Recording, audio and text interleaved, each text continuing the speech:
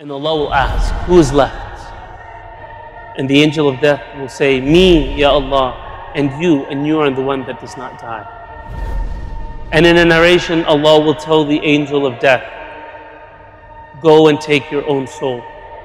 And the angel of death will go to a land between the heavens and the earth.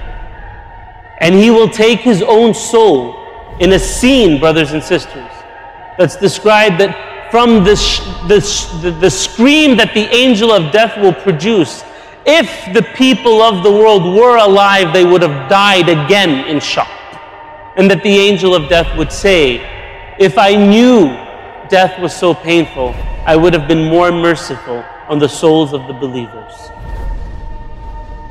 And then Allah will ask, Who is left? But no one will answer. Who is left? But no one will answer. There's nothing but Allah. This is how it started. This is how it will end. Nothing alive, no atom, no cell, nothing there except Subhanahu wa ta'ala, the creator of all of this.